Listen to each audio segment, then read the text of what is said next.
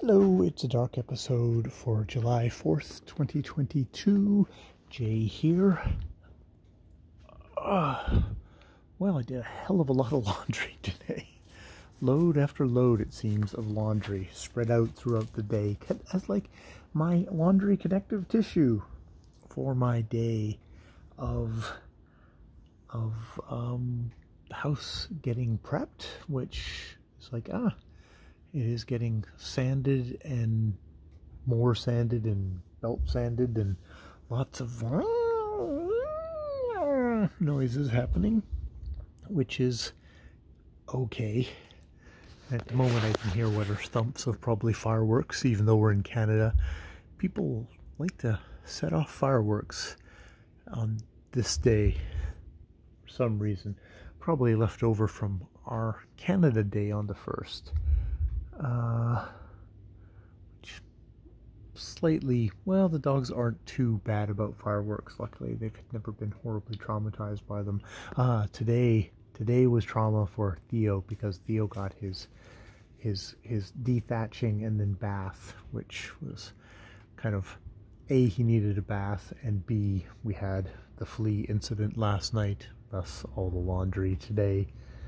Um, and we've got thing in for the vet, so they'll be getting flea stuff, hooray, for themselves. That'll be good. And various, I did various other things today. It's one of these things on a weekend. You, you do stuff, you do stuff, and it's like, ah, I should have just, should have just, should have just sat and and read a bit. I'm going to. Hey. Theo, come on. Come on.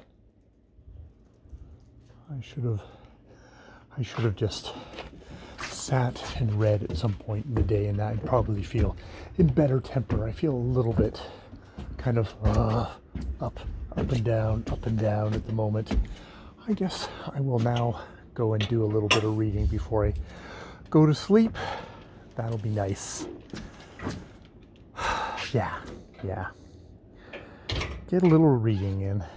That's that's all one can ask for, I guess, in a life.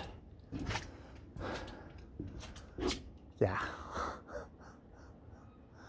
And that's about where I am to this on the end of this weekend. You know,